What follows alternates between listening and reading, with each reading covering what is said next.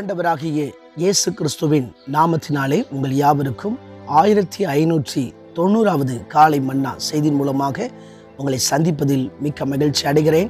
தேவனாகிய கர்த்தர் இரவு முழுதும் பாதுகாத்து அற்புதமாக எட்டாவது மாதம் ஏழாம் தேதி புதன்கிழமை பெண்கள் பகுதிக்கு நேராக நம்மை அழைத்து கொண்டு வந்திருக்கிறார். தேவன் நல்லவராயிருக்கிறார்.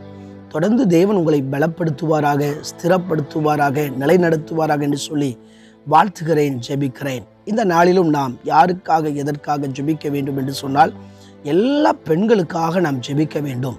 அவர்களுடைய சுகத்துக்காக அவங்களுடைய ரட்சிப்பினுடைய பிரயாசத்துக்காக நாம் ஜெபிக்க வேண்டும். கணவருக்கு நல்ல மனைவியாக பிள்ளைகளுக்கு நல்ல தாயாக சபைக்கு நல்ல விசுவாசிகளாக சமுதாயத்தில் சாட்சியுள்ள வாழ்க்கை வாழும்படியாக எல்லா பெண்களுக்காக ஜெபிப்போம். தேவன் அவர்களை பலப்படுத்துவாராக. இந்த காலை மன்னா ஆதாரத்துக்காக எடுத்துக்கொண்ட வேதவசனம் ஒன்று குருந்தியர் பதினைஞ்சாம் அதிகாரம் முப்பத்தி மூன்று முப்பத்தி நான்கு ஆகிய வசனங்கள். மோகசம் போகாதிருங்கள் ஆகாத சம்பாசனைகள் நல் ஒழுக்கங்களை கெடுக்கும். நீங்கள் பாவம் செய்யாமல் நீதி கேட்க விழித்துக்கொண்டு தெளிந்தவர்களாயிருங்கள். சிலர் தேவனை பற்றி அறிவில்லாதிருக்கிறார்களே உங்களுக்கு வெட்கம் உண்டாக இதை சொல்லுகிறேன். எனக்கு பிரியமான கற்றுடைய பிள்ளைகளே அன்பார்ந்த தேவ ஊழியர்களே அருமையான நண்பர்களே என்னுடைய செய்தியின் தலைப்பு நல் ஒழுக்கங்களை கெடுப்பது எது? நம்முடைய வாழ்க்கையில் கூட சில பழக்க வழக்கங்கள் நம்முடைய நல்ல ஒழுக்கங்களை அது கெடுத்து போடுவிடும். இந்த கொருந்து சபையில் எல்லா காரியத்தையும் அப்போஸ்தலனாகிய பவுல் சொல்கிறார் கொருந்து சபையில் இருந்த பிரச்சனை என்னன்னா அங்கு உள்ள மக்கள் தேவையற்ற வார்த்தையை பேசினார்கள். என்ன வார்த்தை தெரியுமா? புசிப்போம் குடிப்போம் நாளைக்கு சாவோம். அந்த வார்த்தைகளை பேசினாங்க. ஆகவே தான் அப்போஸ் ஆகிய பவுல் பல புத்திமதிகள் அறிவுரைகளை சொன்னாலும் இங்கே எச்சரித்து புத்தி சொல்கிறார் மோசம் போகாதிருங்கள் சொல்லி நம்முடைய வார்த்தைகளை குறித்து ரொம்ப கவனமாக இருக்கணும். ரட்சிக்கப்படாத உங்கள் வார்த்தைகள்லாம் வித்தியாசமாக இருக்கும். ஆனால் ரட்சிக்கப்பட்டு தேவனோடு ஐக்கியம் உள்ள உங்கள் வார்த்தையெல்லாம் விசுவாசத்துக்கு ஏற்ற வார்த்தை நம்பிக்கையின் வார்த்தை பரலோக ராஜ்யத்துக்குரிய வார்த்தைகளை தான் பேச வேண்டும்.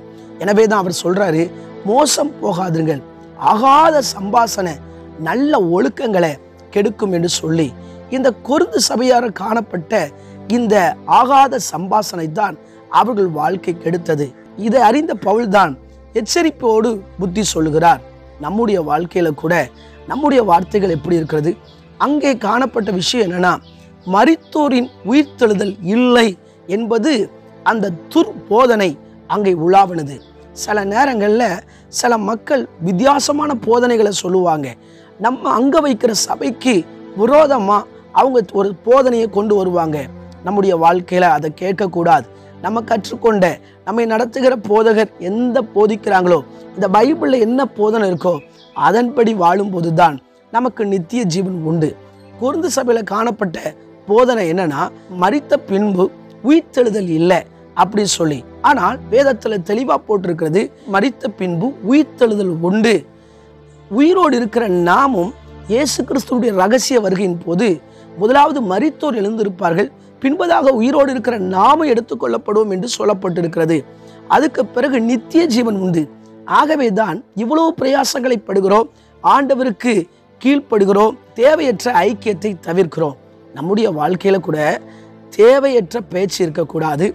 ஆண்டவர் மகிமைப்படுற கணக்காக நம்முடைய பேச்சியும் செயலும் இருக்க வேண்டும். அதே வேளையில் தேவையில்லாத ஐக்கியம் இருக்கக்கூடாது.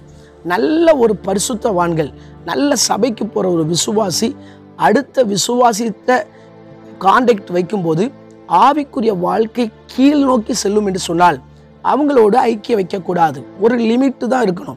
என்றைக்குமே மற்ற விசுவாசியோடு சேரும்போது நம்முடைய ஆவிக்குரிய வாழ்க்கை மேம்படுகிறதா என்று சொல்லி யோசிக்க வேண்டும். ஆகவே தான் இங்கே அப்போஸ் நாகி பவுல் சொல்றாரு மோசம் போகாதீர்கள் சொல்லி. இன்றைக்கு நம்ம யோசிக்கணும் மறித்த பின்பு உயிர்த்தெழுதல் இருக்கிறது. உயிர்த்தெழுந்த பின்பு கற்ற நித்திய ஜீவனை வைத்திருக்கிறார். அதை சுதந்திரிக்கத்தான் இன்றைக்கு சபைக்கு செல்கிறோம் உபதேசத்தை கேட்கிறோம் ஆண்டவருக்கு கீழ்ப்படுகிறோம் ஜெபிக்கிறோம் வேத வாசிக்கிறோம் அவருக்கு ஊழியம் செய்கிறோம். எனவே நம்முடைய வாழ்க்கையில ஒன்றை கற்றுக்கொள்வோம். தேவையற்ற பேச்சு தேவையற்ற ஐக்கியம் நமக்கு வேண்டாம். ஆகவே தான் இந்த முப்பத்தி நான்கு வசனத்தில் சொல்லப்பட்டிருக்குது நீங்கள் பாவம் செய்யாமல் நீதி கேட்க விழித்துக்கொண்டு தெளிந்தவர்களாயிருங்கள். சிலர் தேவனை பற்றி அறிவில்லாதிருக்கிறார்களே. சில நேரத்தில் சிலருக்கு ஏன் தான் வாழ்றது தெரியாது. ஏன் தான் சபைக்கு போகிறது தெரியாது? சிலர் சொல்லுவாங்க சபைக்கு போய் போய் நான் என்னத்தை கண்டேன்? அப்படிம்பாங்க. அப்படி இல்லை சபைக்கு போனால் தான் பரலோ ராஜ்யத்துக்கு போக முடியும். அந்த அந்த தெளிவு உங்களுக்கு இருக்கணும். மறித்த பிறகு ஆண்டோடைய ரகசிய வருகை உண்டு.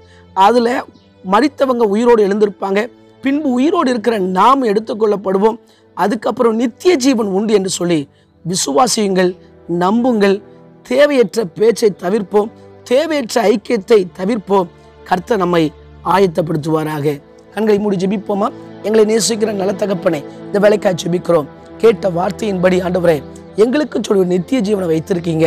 அதுக்கு ஆண்டவர் ஸ்தோத்திரம். இந்த உலகத்தில் நான் எங்களுக்கு கொடுக்கப்பட்ட நாட்களில் நாங்கள் இன்னும் உண்மையும் உத்தவமாய் அந்த ராஜ்யத்துக்காக பிரயாசப்பட எல்லாவற்றையும் சகிக்க கர்த்தர் எங்களுக்கு உதவி செய்வீரான் ஜெபிக்கிறேன். பிறந்த நாள் திருமண நாளை நினைவு கூறுகிறேன். ஒவ்வொருவரையும் கத்தர் ஆசிர்வதிங்க. நித்திய ஜீவனை இவர்களுக்கு கொடுப்பீராக என்று ஜெபிக்கிறேனப்பா.